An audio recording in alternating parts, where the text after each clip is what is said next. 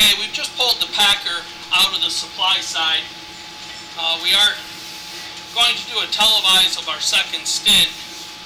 As you can see, we do have some water that did come into the pipe through that area. We will be running a second water test.